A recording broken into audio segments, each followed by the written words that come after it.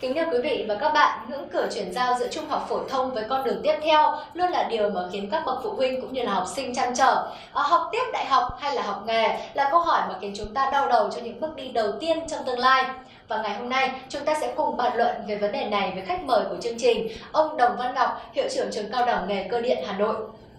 Dạ vâng, à, chào ông. À, như chúng ta vẫn hay thấy thì câu hỏi đầu tiên mà chúng tôi muốn gửi tới ông đấy là à, chúng ta vẫn thường thấy là cái ngưỡng cửa giữa việc chuyển giao giữa trung học phổ thông và tiếp tục học đại học hay là học nghề thì luôn luôn khiến các bậc phụ huynh và kể cả học sinh luôn luôn đau đầu. Vậy thì theo ông thì những tiêu chí nào để quyết định là tiếp tục học đại học hay là học nghề ạ?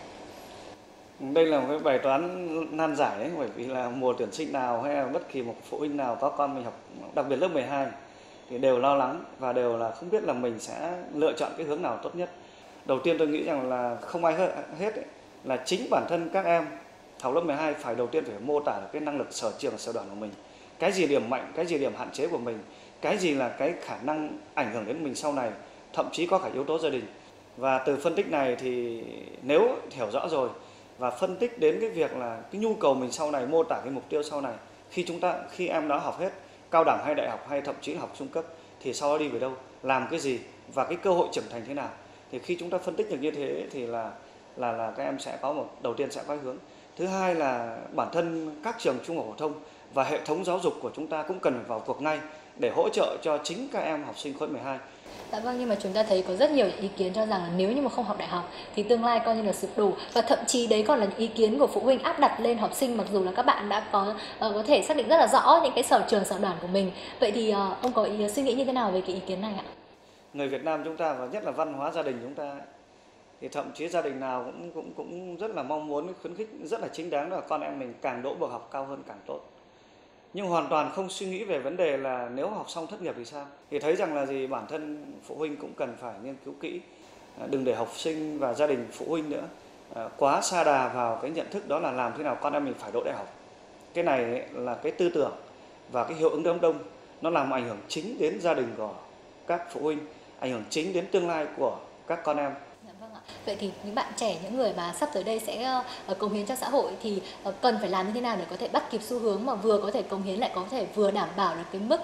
tiền lương của mình trong tương lai thưa ông? Tôi nghĩ là các em tôi có thể nếu nếu đây là một lời khuyên ấy, thì tôi cũng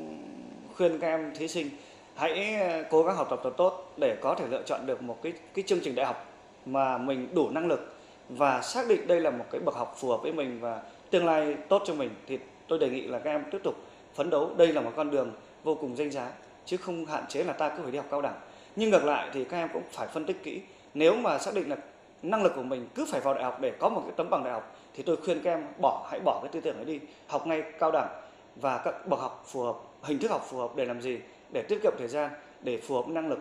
Như vậy chúng ta thấy có rất là nhiều con đường và rất nhiều cách đi đúng không ạ? Đúng à, và cũng về cái vấn đề này thì cũng nhiều những cái con đường thì đấy là nhiều ý kiến. Vậy thì chúng ta còn có thêm một cái ý kiến nữa là nhiều người nghĩ rằng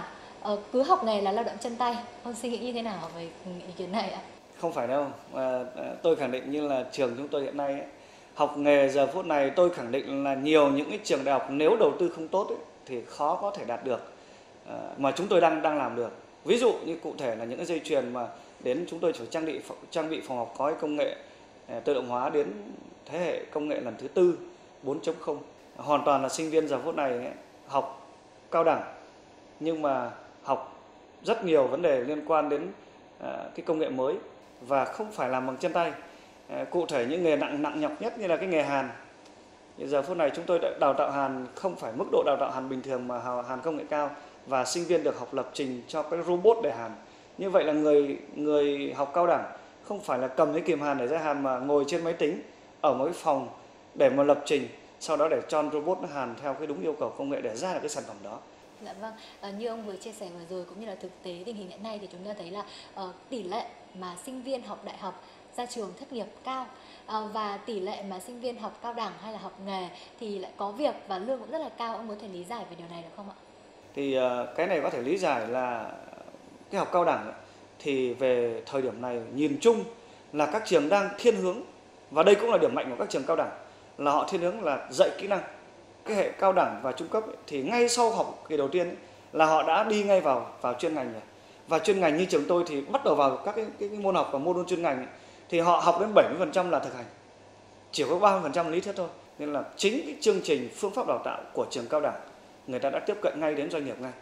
Người ta hướng đến cái việc là doanh nghiệp người ta mong muốn cái gì? Thì người ta sẽ dạy sớm dạy kỹ năng nhưng tôi nhắc lại là không phải trường nào cũng thế nhưng mà cái hệ cao đẳng và và và, và trung cấp ấy, thì phần lớn là họ đã tiếp cận được cái này đây là điểm mạnh của các trường cao đẳng và trung cấp như vậy là chương trình ờ, và phương pháp dạy học thì cần phải hướng đến mục tiêu phù hợp với lại uh, uh, nhu cầu của thị trường đúng không ạ? Đúng rồi, vâng. cái đó là cái cái chính xác. Dạ vâng ạ, xin được cảm ơn ông về những chia sẻ cũng như là những lời khuyên vừa rồi ạ. Yeah.